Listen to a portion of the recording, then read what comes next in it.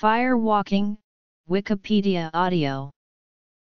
Fire walking is the act of walking barefoot over a bed of hot embers or stones. Fire walking has been practiced by many people and cultures in all parts of the world, with the earliest known reference dating back to Iron Age India c. 1200 BC. It is often used as a rite of passage, as a test of an individual's strength and courage, or in religion as a test of one's faith. Modern physics has explained the phenomenon, concluding that the amount of time the foot is in contact with the ground is not enough to induce a burn, combined with the fact that embers are not good conductors of heat.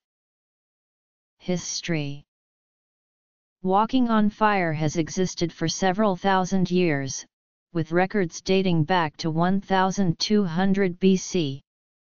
Cultures across the globe, from Greece to China, used fire walking for rites of healing, initiation, and faith. Fire walking is also practiced by the Sawau clan on the island of Beqa, 10 kilometers to the south of Viti Levu in the Fijian Islands.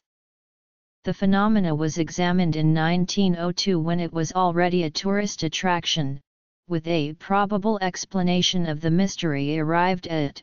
Eastern Orthodox Christians in parts of Greece and Bulgaria, during some popular religious feasts, tribes throughout Polynesia and documented in scientific journals between 1893 and 1953.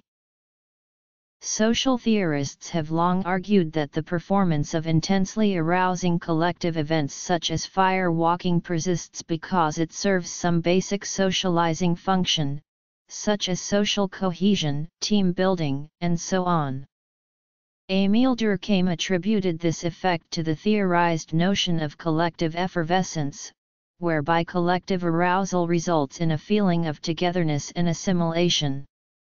A scientific study conducted during a fire walking ritual at the village of San Pedro Manrique, Spain, showed synchronized heart rate rhythms between performers of the fire walk and non-performing spectators.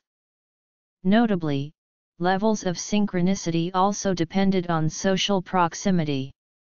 This research suggests that there is a physiological foundation for collective religious rituals, through the alignment of emotional states, which strengthens group dynamics and forges a common identity amongst participants. When two bodies of different temperatures meet, the hotter body will cool off, and the cooler body will heat up, until they are separated or until they meet at a temperature in between. What that temperature is, and how quickly it is reached, depends on the thermodynamic properties of the two bodies. The important properties are temperature, density, specific heat capacity, and thermal conductivity. The square root of the product of thermal conductivity, density, and specific heat capacity is called thermal effusivity, and tells how much heat energy the body absorbs or releases in a certain amount of time per unit area when its surface is at a certain temperature. Since the heat taken in by the cooler body must be the same as the heat given by the hotter one, the surface temperature must lie closer to the temperature of the body with the greater thermal effusivity.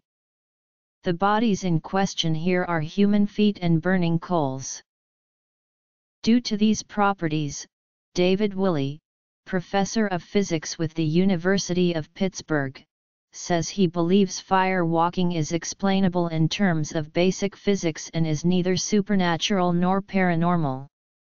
Willey notes that most fire walks occur on coals that measure about 1000 degrees Fahrenheit, but he once recorded someone walking on 1800 degrees Fahrenheit coals.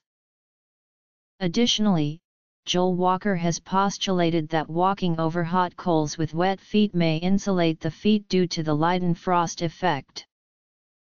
Fire walking is frequently held to imply that the feat requires the aid of a supernatural force, strong faith, or on an individual's ability to focus on mind over matter. Since 20th century, this practice is often used in corporate and team-building seminars and self-help workshops as a confidence-building exercise. Persistence and functions. Explanation. Factors that prevent burning. Risks when fire walking